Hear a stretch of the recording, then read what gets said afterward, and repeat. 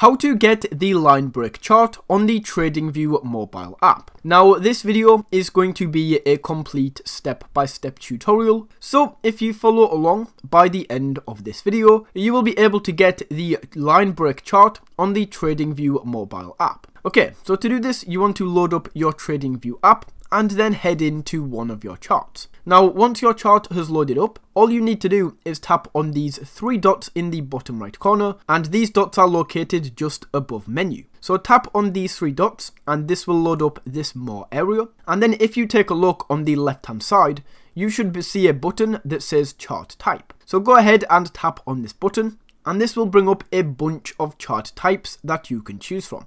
Now you will notice we have the line break chart listed right here. So all we have to do is tap on line break and then you will be able to see that the chart now changes to line break candles. Now that is how you can get the line break chart on the TradingView mobile app. Thank you for watching.